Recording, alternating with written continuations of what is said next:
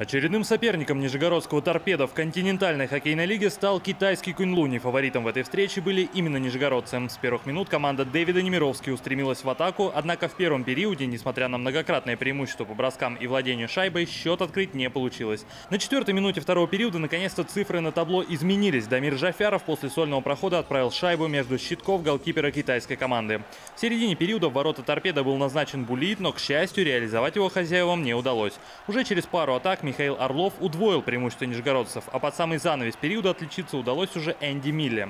В третьем периоде автозаводцы продолжили давить соперникам, но в воротах китайской команды за эти 20 минут шайба оказалась лишь один раз. Отличился Гончарук и сделал счет 4-0. Убедительная победа нашей команды. Очень довольна, как э, игра шла.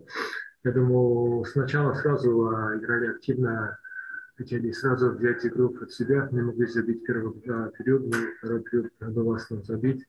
В очень довольны с игру. А, у второй игру с, поездки, сейчас у нас а, остался а, третий игру. Сейчас надо готовиться, все сил готовиться к отделению. Все, спасибо.